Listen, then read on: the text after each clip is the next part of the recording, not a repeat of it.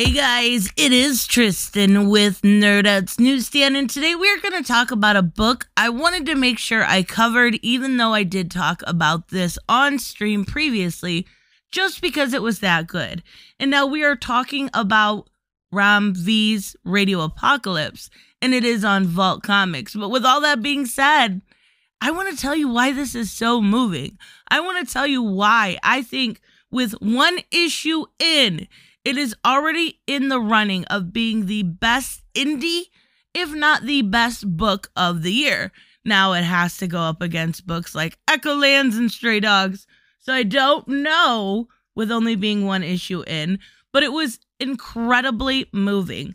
Now, this is a post apocalyptic story, and it is about a radio that is this beacon of hope.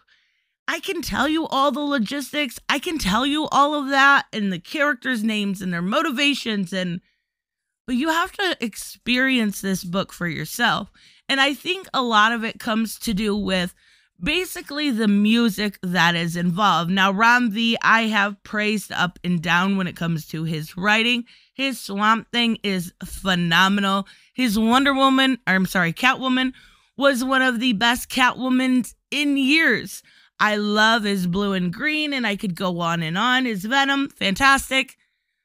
But the way he combines music and his literature is phenomenal. And I don't know why this hasn't been done yet, to be honest with you. Why hasn't someone come up with this idea? But generally, when I put on a book, I take off my music. Or if I put on music, I won't read just because I like to be able to concentrate when I read. And I never thought to combine the two. Something silly and simple, and I really never thought to do so. Well, I probably should have, because there are two spots in this book where you are supposed to play music, and it works out so well. And by the second one, by the song by Bruce Springsteen, and we are going to go through the book a bit, so I will you know, share that part. But by that part, I had to take my glasses off and wipe my tears away. I generally don't cry at comics. Now I'm saying generally because I definitely have plenty of times. But this was like a pathetic cry. Like this was the girliest baby cry ever because it was that moving. Sounds silly, but you have to give it a chance in order to understand where I'm coming from. Now, the art is by Anand RK and is bad for the sake of being awesome. It fits so well in this post apocalyptic world that you like this art. It's funky, it's weird, it's off the wall, and it's so damn fitting. So, when you start off this book, and I will open it up here, when you start off this book, you see the art style, you see the basic premise of what is going on. And um, you know, you maybe when it comes to this character here, this is where you immediately you see this panel here says Muse Blackout. And I love the Muse. I absolutely love the Muse. I actually did not know this song, so I was glad to find it. But you see this man in a ra- you know at the radio tower talking to all the people in the sort of sanctuary they've set up to it's Bakerstown, um, and you know telling them about their day. And anyone in this area that can hear the radio is able to come and get help.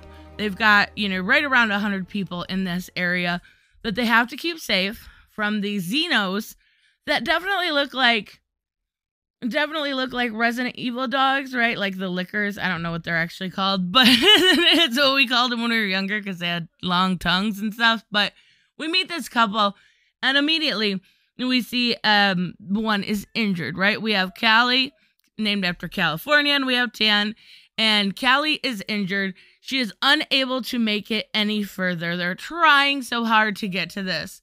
And um, you know, like even the art style here with the foot, you don't know if it's infection or if it's gauze, but it kind of just makes you want to go, oh, honey, are you okay? Like, absolutely love it. So then we're introduced to two characters, Mac and Rion. I believe it's Rion. I am sh- I think that's how you pronounce it. And they are breaking into this radio station trying to look for stuff. Mac immediately kind of gets scared and runs away. And Rion gets caught by an older man and he is able to actually kind of help him and we'll get there. But this is where the decision comes in. Whereas to if Tan is going to go ahead and venture ahead, try to get to this radio station, try to get to the sanctuary before nightfall hits. And I love this this art, um, this golden hour look here, right? It's so so pretty the way that they make it go. You can tell it they need to get somewhere. They need to get to shelter. And they're saying their goodbyes. And of course, it's heartwarming. She promises to come back for her. She's not going to leave her there, but she can't make it anymore. She just absolutely can't. So she heads off. She's going to go to the radio station. She's going to be back. That's the plan. Now, when Rion gets caught, he's not exactly like the happiest person. It seems like the older man, and I'm not sure his name right off the bat, he's not happy, obviously, but he's going to make him work for the damage that he's done. He's going to make him do it. And then we see Tan, she is talking to the person in charge of Bakersfield or Bakersville. I can't remember which one right offhand. And um he's like, "Look, you you understand where he's coming from. He's got I think he says 98 people that he has to take care of. And in 6 minutes that gate is going to close because if not, those Xenos are going to get in and put everyone at you know in harm's way and they've got to stay safe.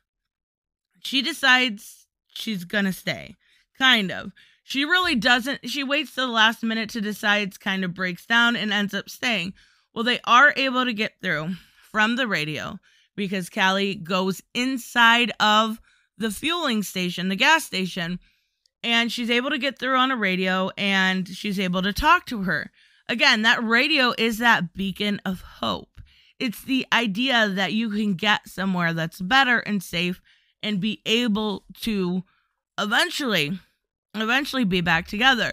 Well, maybe not in this case so much, but she does get to talk to her. And this is where I started to get that choked up, right? You ever have that like in your chest where you just feel it coming on and you're like, shit, there's no way I'm gonna be able to avoid this.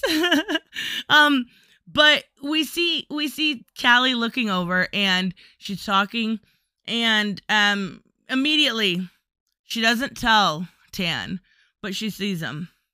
She sees the Xenos. She sees these monsters. And the way that they're drawing are beautifully grotesque. Can we say that? That that that's the best way to put it. Um and and she doesn't tell him. She actually says the exact opposite. She doesn't see any. Well, this is um where she says, "You know what? Play me a song." Anything, anything this girl wants, play her a song. And she says that one song, remember? A little bit more. I I'm actually really confused by this part. Like we see this dude shooting up. We see like his little uh, uh I don't know, spoon and stuff, right?